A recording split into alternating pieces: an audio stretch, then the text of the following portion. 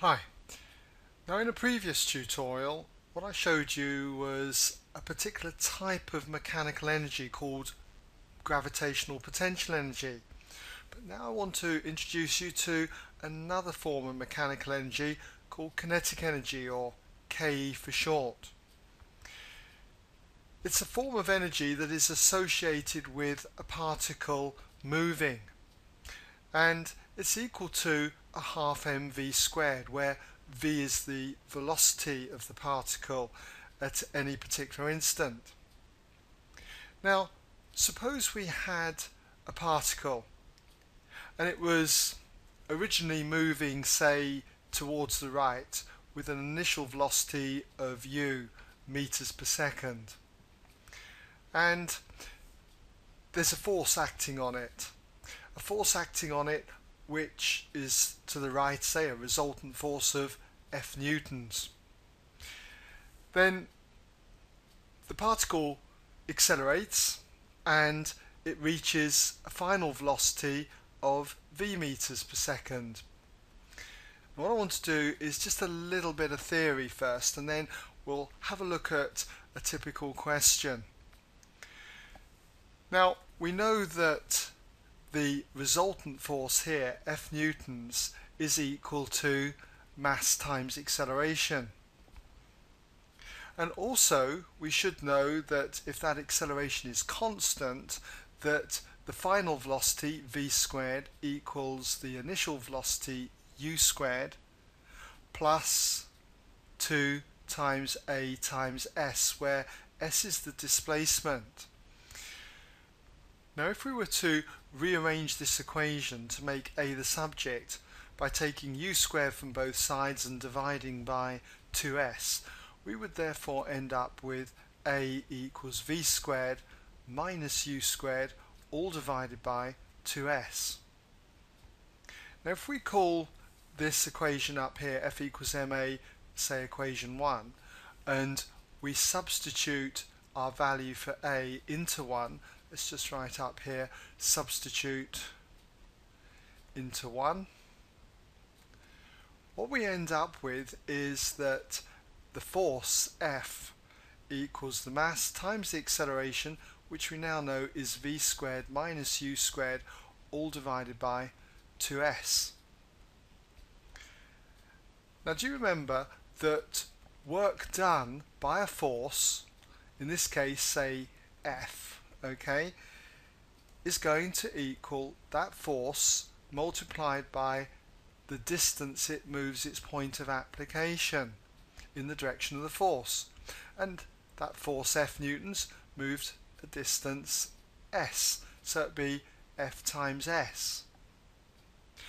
Now, we know what F is from up here. So that's going to be mv squared minus u squared all over 2s multiplied by this s. Now the s's cancel. So what we end up with is equal to a half mv squared if we divide each term here by the 2 we end up with the half mv squared minus a half mu squared and this quantity here is the final kinetic energy of the particle. And minus a half mu squared is the initial kinetic energy of the particle. So we end up with a result that you need to remember that the work done by a resultant force F on a particle is going to be equal to the change in kinetic energy. Alright? So what we have then is this result. Work done equals the final kinetic energy minus the initial kinetic energy. In other words, the change in kinetic energy. Now I've got a problem here that uh, is going to be fairly typical of the kind of thing that you could get with something like this.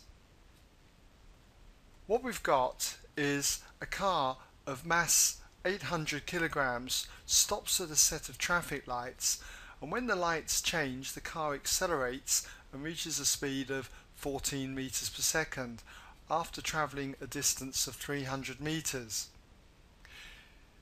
Now if there's a resistance to motion of 420 newtons, we'll just put that in here, we've got to calculate the driving force assumed to be constant. So the driving force I'd mark in like this with a D, D for driving force, D newtons. Now there's also going to be the weight of the car acting downwards, that's going to be mg or in this case 800g newtons and there'll be a normal contact force upwards of r newtons. Now in order to calculate the driving force assumed to be constant what I'm going to need to do is look at the work done by the resultant force as we go from rest up to the 14 meters per second. So that resultant force okay is going to be clearly to the right and these two forces the weight and the normal contact force are not going to have any effect in the horizontal direction. So let's have a look then at the work done by the resultant force. Let's just put a little intro here. Work done by the resultant force. That's in getting its velocity to change from 0 to 14 meters per second. So that's going to be equal to the change in kinetic energy, half mv squared then minus a half mu squared. And what's that going to be for this particular example? Well, it's going to be a half times the mass, which is going to be 800, times the final velocity squared, that would be 14 squared. And then you've got minus a half times the mass again, 800, times its initial velocity squared, 0 squared. And if you work that out, you'll end up with 78400, 78,400, and the units are joules. Energy is in joules when you've got a velocity in meters per second, okay, and a mass in kilograms. Now that we've got the work done by the resultant force, we know that work done is the resultant force times the distance that that resultant force moves its point of application. So in other words, we've got the resultant force is going to be D minus the resistance of 420 newtons. And that acts over a distance of 300 meters. So if we multiply that by 300, it is equivalent to the work done then by the resultant force of 78,400 joules. So all we've got to do is rearrange this for D. So we could divide both sides by 300, that will give us D minus 420, and then add on the 420. So D will equal 78400 divided by the 300 and then add on the 420. And if you do that, you'll find that you get 681.3 recurring. Just put a dot over the top there.